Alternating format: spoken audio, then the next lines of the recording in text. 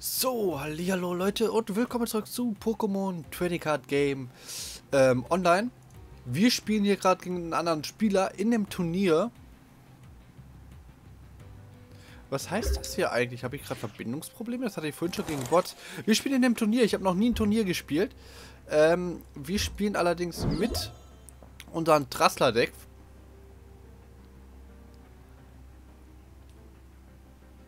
In der Hoffnung, diesmal Trasser relativ schnell fertig zu bekommen. Leider kein Kilia oder sowas auf der Hand. Mal gucken, was er... Also ich sehe es ja hier schon. Im Metacross hat er anscheinend.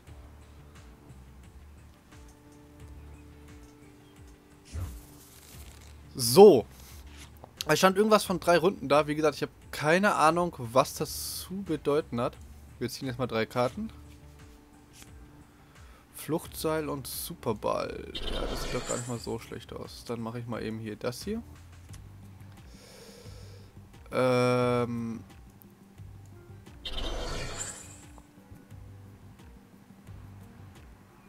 Ich behält mal meinen Zug, weil ich nicht weiß, was er für Karten auf der Hand hat. Die kann ich halt auch in der nächsten Runde gleich einsetzen. Diese Runde kann ich mein Dings ja eh nicht entwickeln. Carpador, das könnte gefährlich werden, Levelball. Da darf er sich jetzt ein Pokémon mit maximal 90 HP raussuchen, soweit ich weiß. Tahir, ja. Er geht jetzt wahrscheinlich wirklich auf seinen Metacross, ist aber auch eine Stufe 3 Entwicklung, also eine Phase 2 Entwicklung. Dauert also ein bisschen dieses Vieh aufzubauen.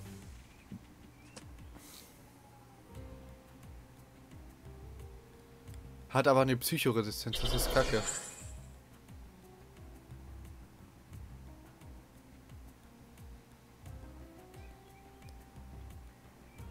Er kann sich Ausrüstungskarten suchen, das ist auch blöd. Oder er sucht sich jetzt gerade auch Ausrüstungskarten raus. Halte jedes Mal 20 bei einem Pokémon, an dem diese angelegt ist. Wenn? Keine Ahnung. Äh, den wollte ich nicht haben, den kann ich aber auf die Bank legen. Ich probiere es jetzt erstmal hiermit. Drei Karten ziehen. Dann haben wir noch einen Superball raus. Wo ist ein Kirlia? So, spielen das Kirlia mal eben. Ich werde eine Energie an den anlegen. Werde jetzt hiermit schon mal angreifen. Damit ich schon mal so ein bisschen Schaden rausbekomme.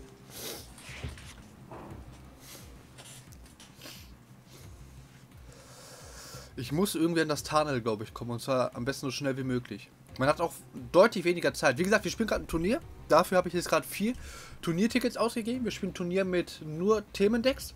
Weil das momentan das einzige ist, was ich spielen kann, wo ich eine Chance habe. Ähm, und am Ende dieses Turniers bekommt man halt irgendeine Belohnung, wie Booster Packs. Ähm, einer dieser äh, diese Truhen kann man, soweit ich weiß, auch bekommen. Okay, damit fügst du dir aber selbst Schaden zu.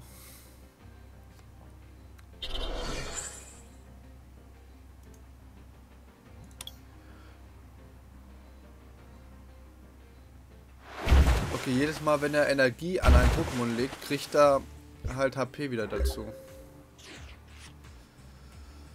So, die Sache ist...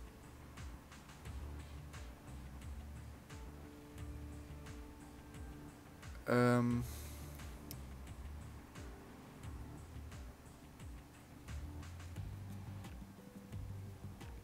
Ich könnte...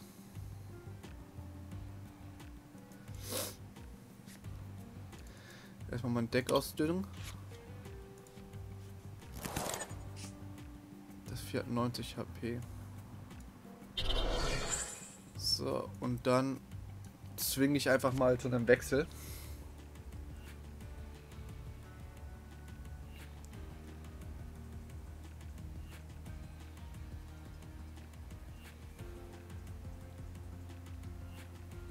Ich will, dass dieses Vieh da nicht mehr drin ist.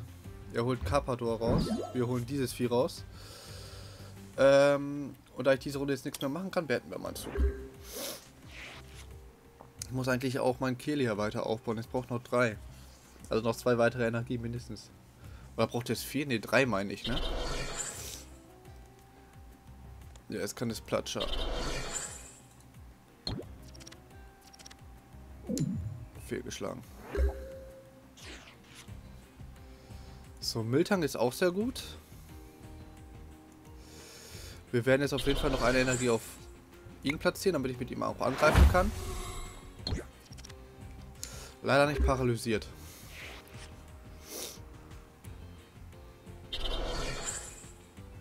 Tarnel bekommt eine Energie von ihm, damit kann er Ramme. Ja, schon fehlgeschlagen. Er muss zwei Münzen werfen, ist davon einer eine Zahl, schlägt es fehl bei ihm dein Angriff. Ähm, die bekommt Kilia. Und wir greifen an. Unser Münzwurf ist egal. Okay, das ist sehr gut, wenn wir damit einen Kopf gleich werfen können.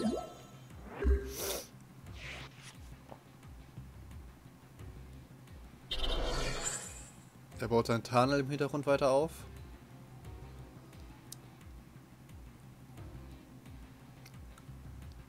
Du, du, du, du, du, du, du. Ja, das Viert auch 90 KP, das finde ich gut. Das kann er nur machen, wenn ich mehr Preis, äh, wenn er mehr Preiskarten hat als ich. Dann darf er nochmal neu ziehen. Und ich anscheinend auch, was ich aber gut finde. Auch wenn ich weniger neu ziehen darf.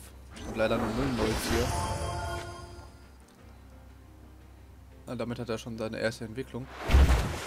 Autsch. 10 Schaden selbst. So, damit bin ich. Kriege ich jetzt vielleicht mein Dings? Nee, leider nicht. Dann gib mir das Vieh. Ist egal, was ich nehme. Ich habe nur Müll da drin gerade. So, dann entwickle ich den.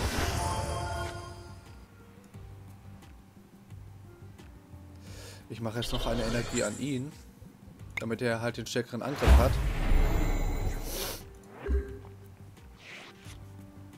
Ich hätte doch mit fester Biss angreifen sollen. Hätte mehr gebracht. Es tötet sich selbst.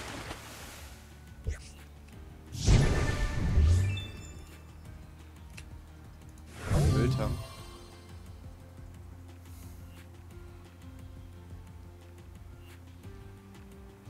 Patronenhieb, okay. Das Vieh kann noch nicht so viel. Kommt jetzt auch raus. Äh, das ist ein Riesenproblem für mich.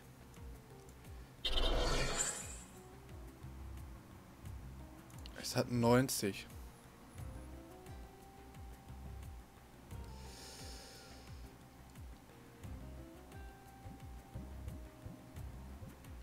Hau ich Schaden raus oder versuche ich zu Ich versuche zu paralysieren. Komm.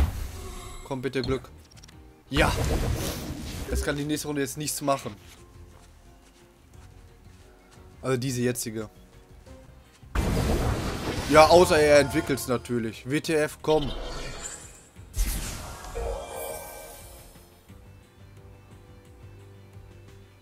Mehr Glück bitte. Ja, damit wird jetzt wahrscheinlich durchsweepen.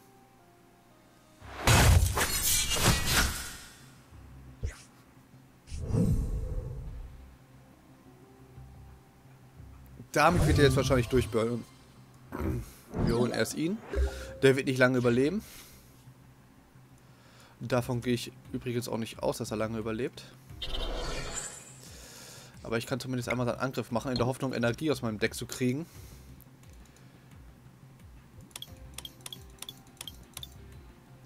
Ein geiler Gladi ist gepriced anscheinend. Oder habe ich nur zwei drin? Ich weiß es gerade gar nicht. Ähm. An Mülltang bitte. Und nochmal an Mülltang.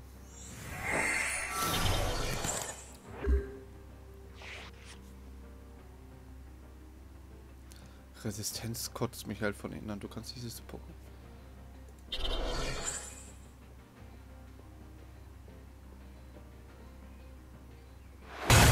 Er wird jetzt verdammt viele Preise ziehen können. Da ich jetzt leider immer Opfer-Pokémon reinschicken muss.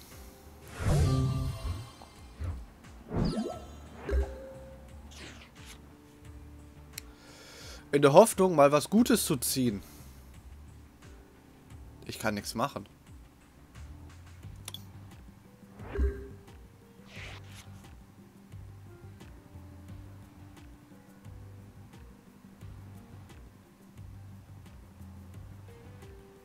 Wow, er kann das Pokémon austauschen, sodass ich auch austauschen muss. Wie mies ist das denn?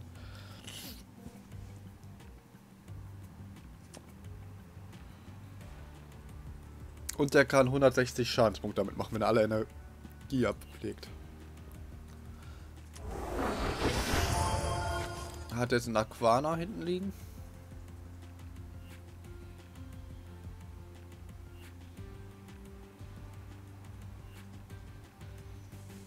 Ach, er baut wieder ein Tunnel da hinten auf. Ja, ich bin auch auf meine dritte Entwicklung angewiesen, nur leider bekomme ich sie nicht.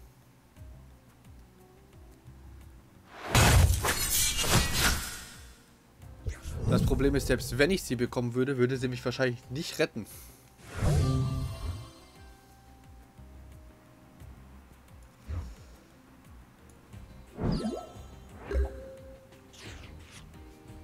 Es ist doch so unnötig, ne?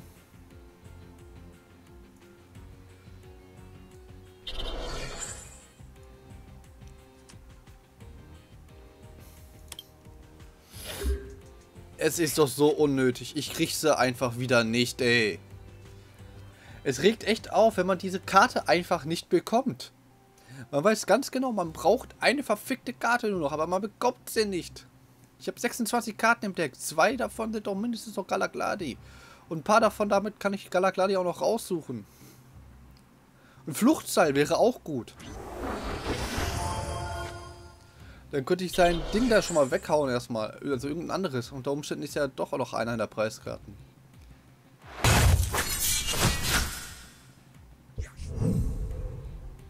Ja, damit hat er jetzt nur noch zwei Preiskarten. Also ich muss so langsam was machen, leider.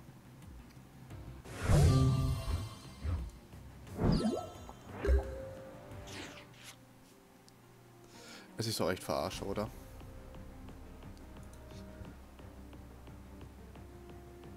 Ja, ich habe kein Phase 2 Monster liegen, das heißt, ich kann leider nicht mit den Angriff angreifen.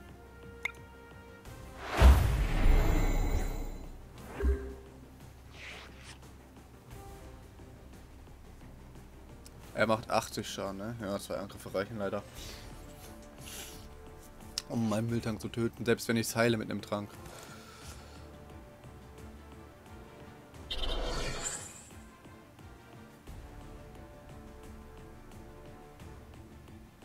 Ich krieg das Vieh leider nicht kaputt. Ach, er tauscht.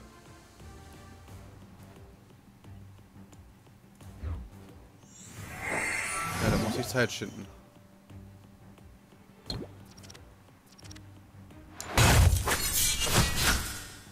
Wow, 70 Schaden, ernsthaft. Ich ziehe eine Kirlia.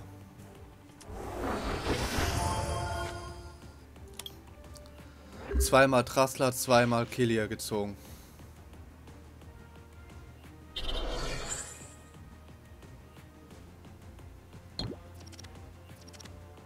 Und wieder 70 Schaden.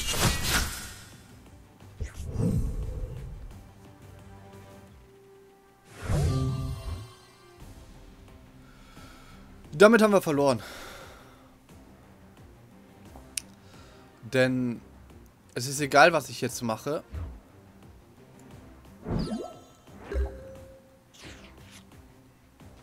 Habe damit verloren, ja. Weil ich leider nicht das Ziel, was er ziehen muss.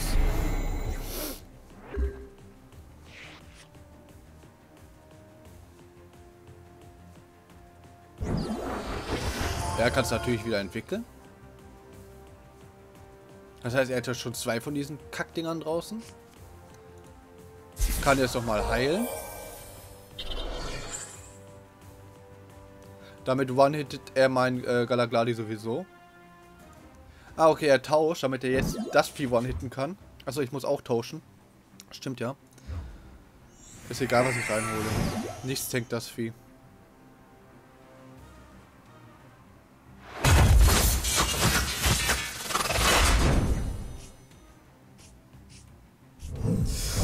Ja, das war die erste Runde. Lief echt super. Äh, wie sieht es jetzt aus mit, der, mit den nächsten Runden? Ah, okay, ich bin also im Endeffekt jetzt schon raus. Hier sieht man jetzt halt den Turnierbaum. ja, wenn man halt das Ding nicht zieht, ne, worauf man sein Deck aufgebaut hat, ist halt scheiße. Das Turnier dauert also jetzt noch maximal eine Stunde. Jetzt müssen die gegeneinander fighten und dann natürlich noch die beiden Endkandidaten. Ich kann ja mal zeigen, was man dafür bekommen könnte. Ähm, ich bin Platz 5 bis 8, das heißt, ich kriege eine Raritätstruhe. Das heißt, die Leute, die jetzt spielen, kriegen ähm, ein zufälliges Booster-Paket. Dann die beiden im Finale, da kriegt entweder der Gewinner einen zufälligen Booster und zwei Booster aus der Schicksalsschmiede. Und der zweite Platz kriegt ein Booster aus der Schicksalsschmiede und ein zufälliges Booster.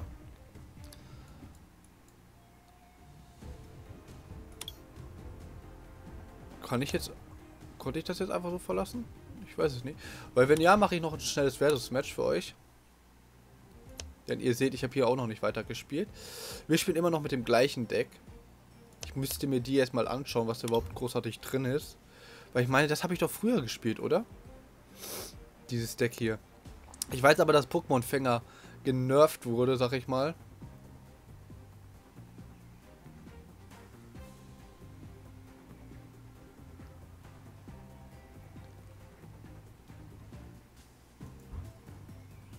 Dieses Pokémon hält für... Aha.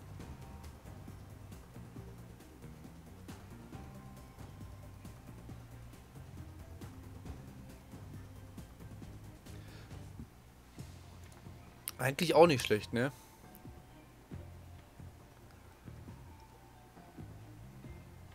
Eigentlich auch nicht schlecht, das Deck hier. Also da würde ich gerne vorher noch mal ein, zwei Spiele mitmachen und dann gucken wir uns das mal an.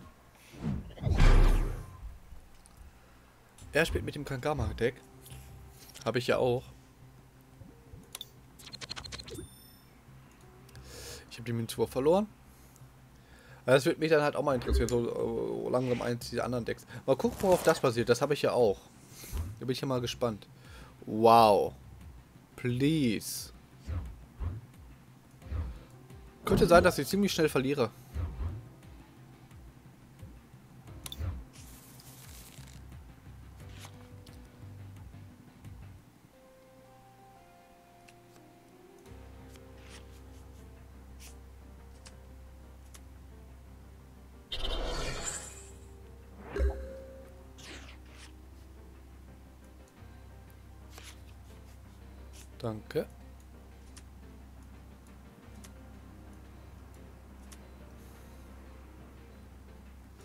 Ich habe sowieso genug Energien.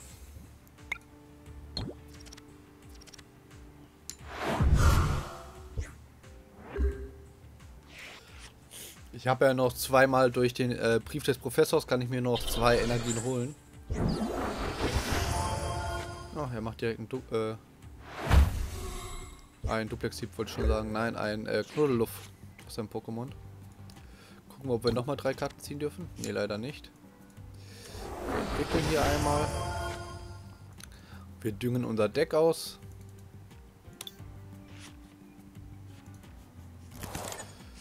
So. Ja, und wir werden Miltang aufbauen. Yay, 20 Schaden.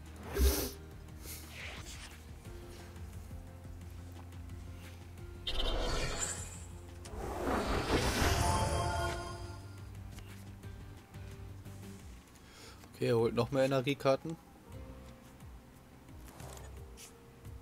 Leider habe ich nichts, um seine Handkarten zu vernichten. Um es mal so zu sagen. So. Ja, komm. Warum nicht? Tankst du da vorne wenigstens noch mal ein bisschen mehr. Und du machst jetzt auch übrigens mehr Schaden.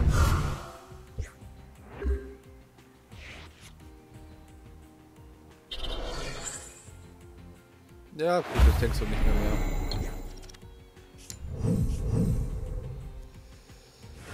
So, ja doch, wir können auch direkt mit unserer Kuh raus.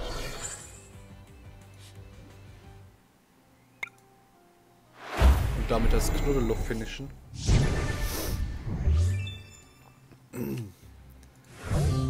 Das ist super. Genau das brauchte ich.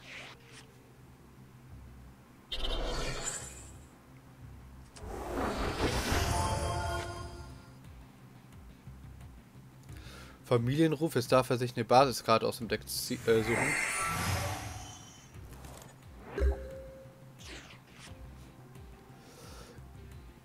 Ich muss jetzt nur aufpassen.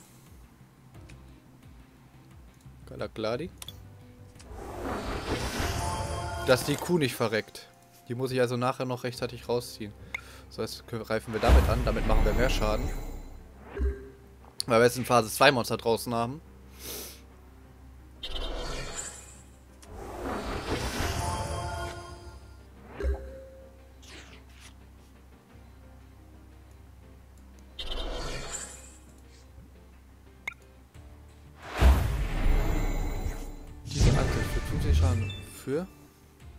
Was Kanon beherrscht oder wie? Ich wollte sagen, das könnte sonst echt gefährlich werden noch.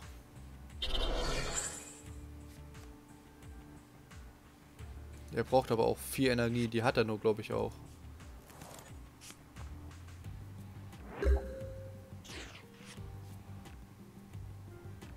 Das nächste Galagladi. Da fehlt mir wieder der Rest davon.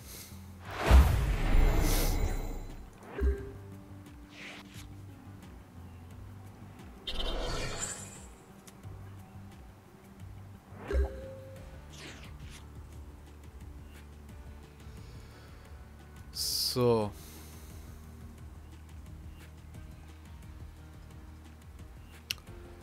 Ich will das Kangama gerade nicht töten. Sonst tötet er das und ich brauche die Energien, die dran sind.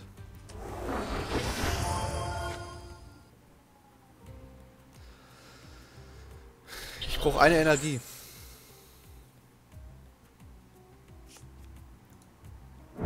Okay, jetzt tötet er es eh.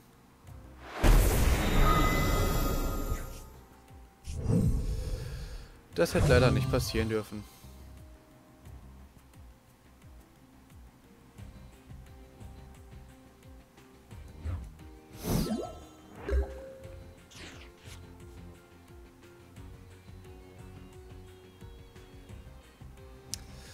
Zwanzig, vierzig, sechzig, achtzig, hundert. Ich mache nur hundert Schaden.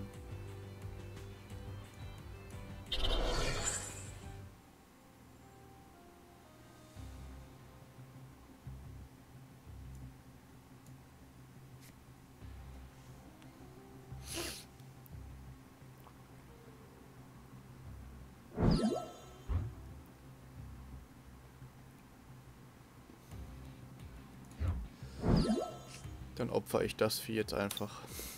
Das kann sterben von mir aus.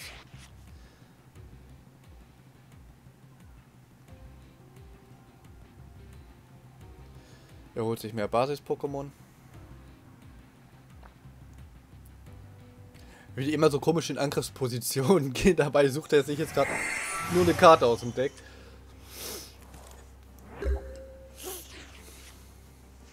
Das sieht schon weird aus.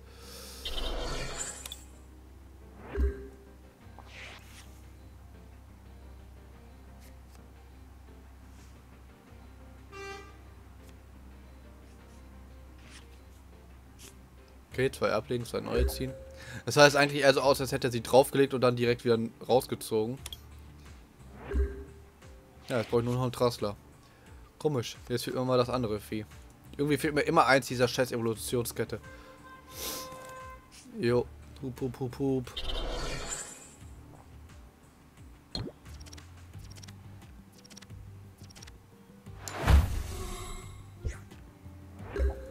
Er traut sich mal mit seinen Kackvieh anzugreifen.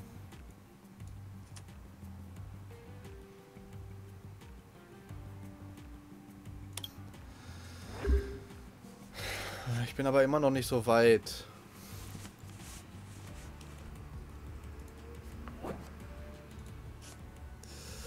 Zwanzig, vierzig, sechzig, achtzig. Ich mache 120 Schaden nur.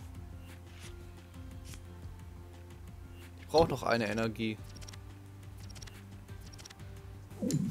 Okay, kein Schaden. Boah, das ist echt mega Pech. Es kann nicht euer Ernst sein, ne? Ich brauche eine Energie.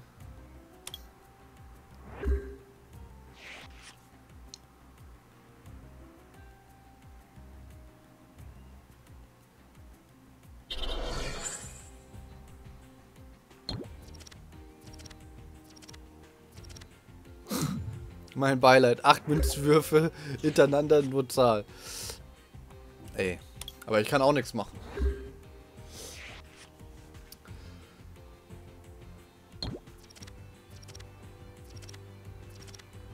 Ja, das reicht, um ihn zu töten.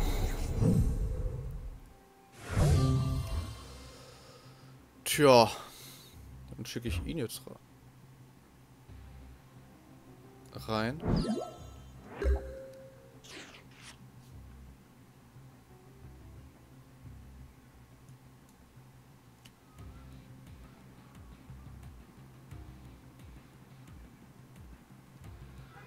Zwei Basis-Pokémon suchen und dann ins Deck tun. Äh, in die Hand, auf meine Hand tun. So.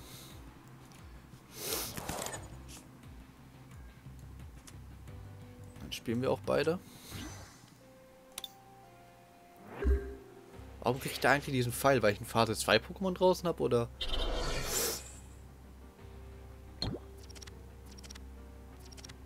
Wow.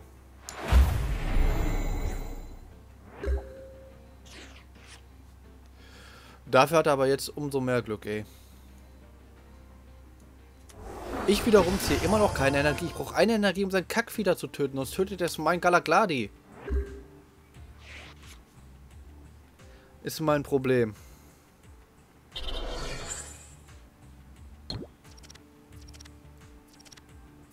Obwohl, nein, ich kann ihn ja zum Auswechseln zwingen.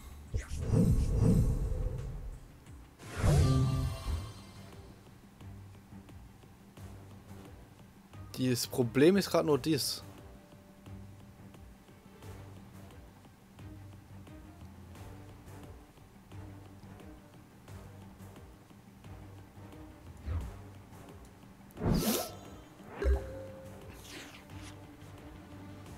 Jetzt kriegen wir die Energie, ne?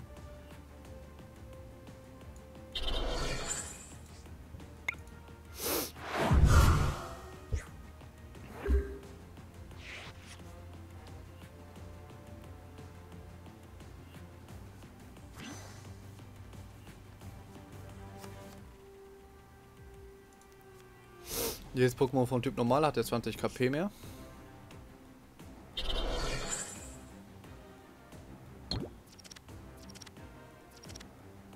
Damit kann er schon mal nicht one-hitten. Okay.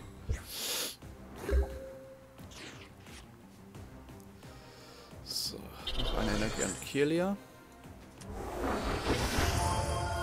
Er muss zuerst wechseln, ne?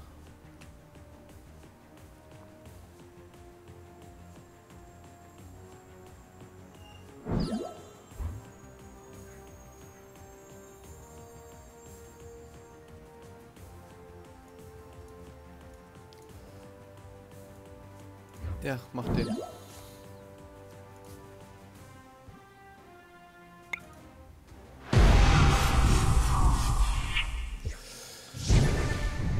Das Problem ist, er wird jetzt sterben. Und damit werde ich wieder zwei Energie verlieren. Das war nicht ganz so gut.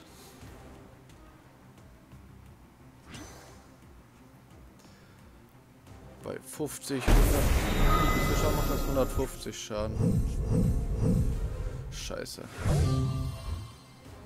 Ja, ich muss ja jetzt das Vieh nach vorne holen. Leider. So, ich kann aber ihm das Amulett geben. Und ihm zum Wechsel zwingen. Wechselt er jetzt das hier rein und macht schon mal Schaden wahrscheinlich, oder? Ah ne, Kangama.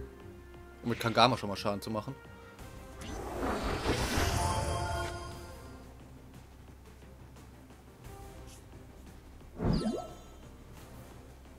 Ach, Kangama tauscht einfach um. Ja, 180 mit gesunkenen Schaden. Ja, damit hätten wir das Match auch verloren, Leute. Ich danke fürs Zusehen. Bis zum nächsten Mal. Ciao.